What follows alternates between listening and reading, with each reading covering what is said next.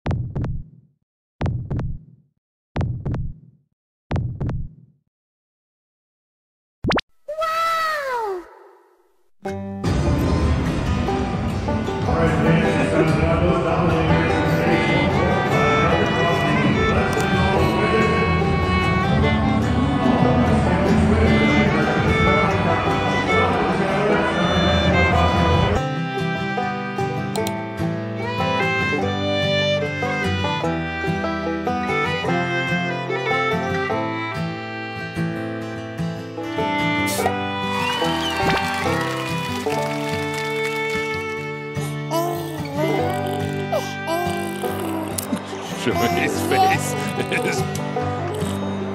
Show his face.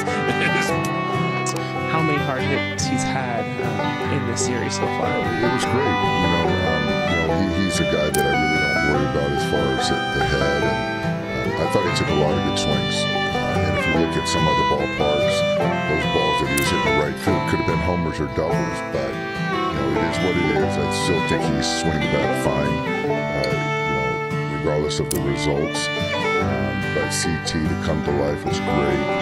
And to see Shohei continue to stay hot and fighting.